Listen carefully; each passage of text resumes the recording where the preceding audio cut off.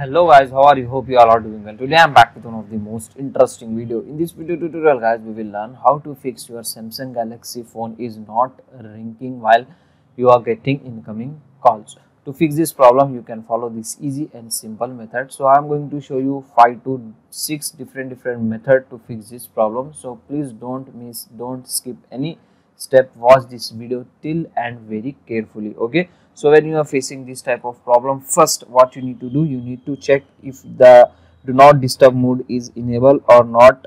To check this guys open your notification panel like this. From here you can get the option do not disturb mode if the do not disturb mode is enabled just simply disable this okay now your problem will fix. In case still you're facing same type of problem now what you need to do you need to open your phone settings. In the phone settings go to sound and vibration. From here you need to check your phone volume was muted or not. If the phone volume is muted at that time also you can face this type of problem.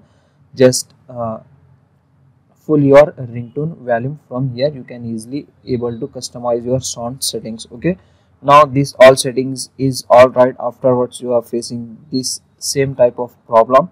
Now you can follow this next method. Next method is this guys. Open your phone settings once again. Go to apps scroll down and find out apps like this.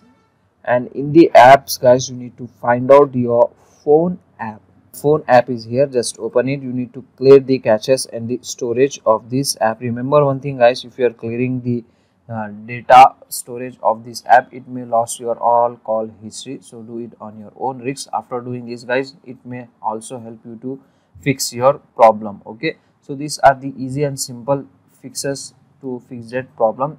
After this guys still you are facing same type of problem. Now it was your speaker problem. Go to the service center and uh, check up your phone from there now this is the last and final solution to fix that problem. So that's it for today guys. The short and simple video. Hope you enjoy this. If you enjoy please guys don't go back without like share and subscribe to our channel. Thank you very much